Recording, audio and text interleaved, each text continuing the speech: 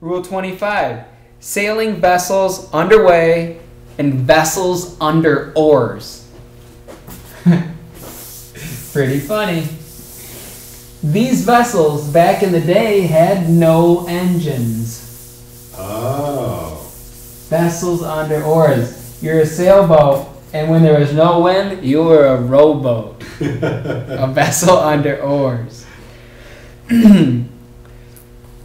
a sailing vessel underway shall exhibit side lights and a stern light.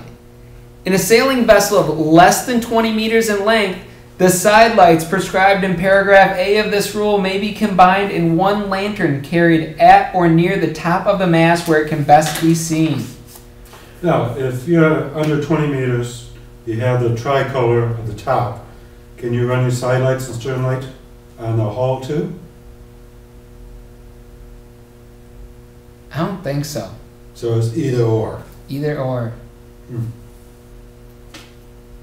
But it does say a sailing vessel underway may, in addition to the lights prescribed in paragraph A of this rule, exhibit at or near the top of the mast where they can best be seen two all round lights in a vertical line, the upper being red and the lower green. But these lights shall not be exhibited in conjunction with the combined lantern permitted by paragraph B of this rule. Okay, but that's only for international. Is that the same for inland? You can have the red over green? Yes. Okay. Yep. You may have that red over green. What's- Thank you. So, let's see.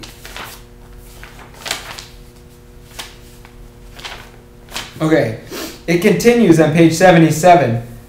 A sailing vessel of less than 7 meters in length shall, if practicable, exhibit the lights prescribed in paragraph A or B of this rule, but if she does not, she shall have ready at hand an electric torch or lighted lantern showing a white light which shall be exhibited in sufficient time to prevent collision.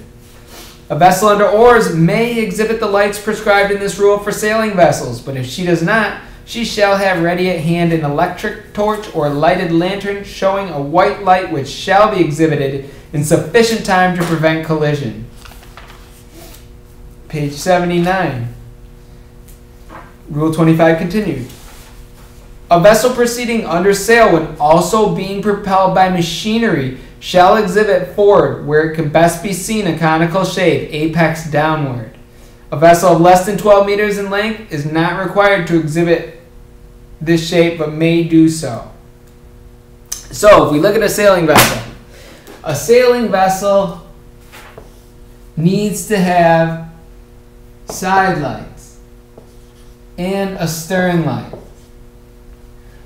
A sailing vessel less than 20 meters may combine their side lights and stern light into one tri light red, green, and white and mount it on the top of the mast less than 20 meters.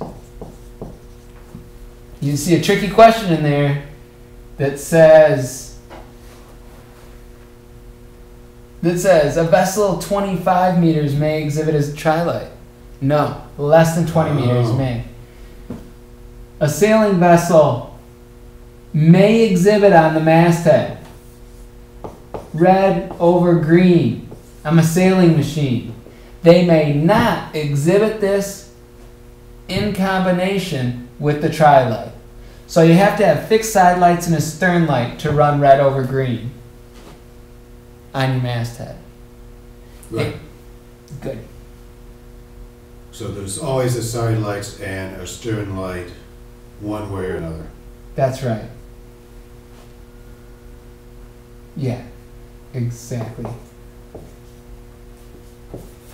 Now, if you go red over green, is there any length requirements? Mm, I really, I don't think so. Sailing vessel underway may, in addition to the lights prescribed in paragraph A of this rule, exhibit at or near the top of the mast where they can best be seen two all-round lights in a vertical line, the upper being red and the lower green. But these lights shall not be exhibited in conjunction with the combined lantern permitted by paragraph B of this rule. So there wasn't any restrictions mentioned specifically.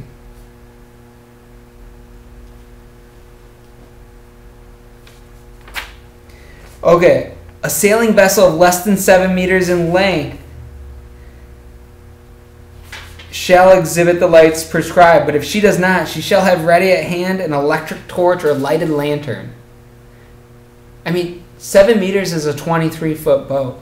Yeah, I looked that up because my son has a eighteen foot Buccaneer Yeah, and he doesn't have any side lights or stern lights. and no battery. Right. So if he I- brings a flashlight or like an LED flashlight, Mhm. That's all he needs. yeah, And he just needs to shine it at the vessel coming, right? yeah, Doesn't have to be like all around or anything. no, an electric. You can have a lighted lantern. Yeah, Isn't that funny? that is A funny. whale oil lantern shall be lighted in sufficient time. right, If you can find the whale oil. right. So, in that, it's a Buccaneer, right? Yeah.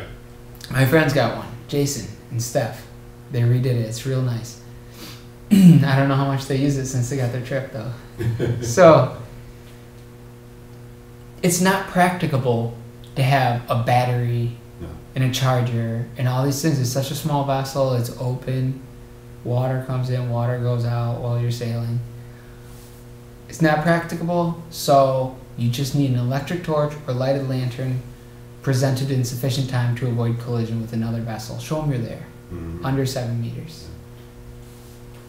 Good. I thought they would have to have like the little battery powered bow lights that you can get for dinghies, the suction cup. Right.